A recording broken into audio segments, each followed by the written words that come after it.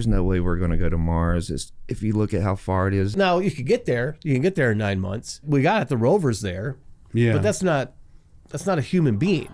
Is it scientists or is it guys that are going to be working? Or are you going to throw a woman in there? You're going to throw a woman in there. and Now two of the guys are going to kill each other over the. Oh yeah, because they're going to fall. One's going to fall in love, and there's going to be a romance. And Right. When they get there, it's going to be desolate as hell. Right. Uh, you can't. There's nothing. There's nothing. You have to You bring can't all with grow you. anything. You can't put oxygen there. And I the more that you need to bring, the bigger the vessel you need, and the more fuel you need, and the Yeah. more propulsion you need.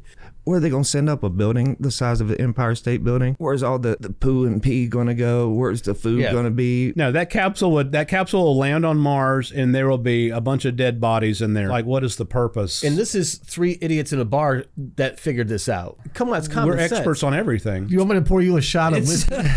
You guys, look at the moon.